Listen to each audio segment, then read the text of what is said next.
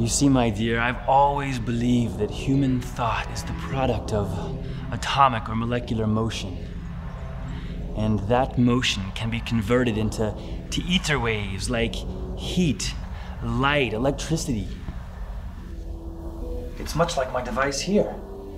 With the energy from the muscle tissue in my arm transferred to the crank, to the fuses, to the wires, I am able to harness electricity itself.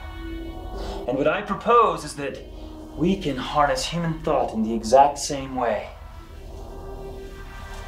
I mean, given the most recent developments in electroshock therapy, I think it's obvious that science is on the cusp of a major breakthrough here.